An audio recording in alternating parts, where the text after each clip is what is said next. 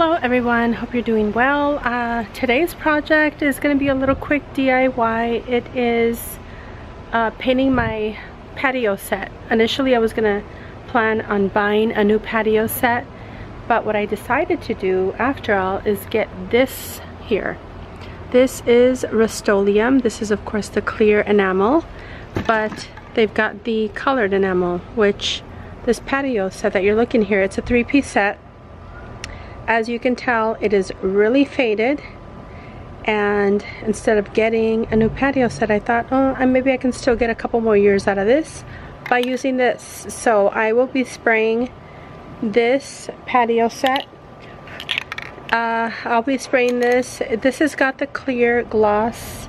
I had pre uh, previously sprayed another chair which is the same patio the you know the, the set the other set of this one uh, but I didn't use the one that has a clear in it. You definitely want to use the one with the clear in it. and excuse the mess over there. I'm having one of my rooms uh, completely remodeled along with the, the uh, downstairs bathroom.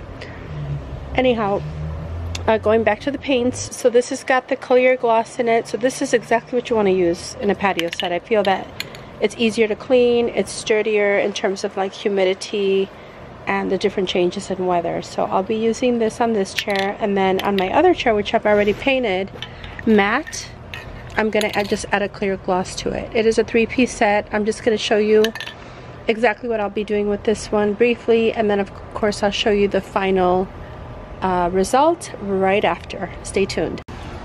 Okay, so the chair looks like. As you can tell, it's faded. It's not torn or anything, it's just simply faded from the sun. And though we do have it in a covered area, but during the day it does get a lot of sun. So it is very, very faded. So I'm going to be adding some color. I went with the darker bronzy brownish finish. Uh, so let's get started. I've got my glove on already. You definitely want to wear a glove because even though you're just spraying, but I ended up getting my middle finger full of paint. So this time I'm not going to do that. So I wore a glove. And then you want to also wear a face mask because I don't care, but I mean, either way, the breeze is going to be hitting every which way. So it you'll be inhaling some of this stuff. So you're better off wearing a pretty thick face mask. And yeah. Okay, let's get started.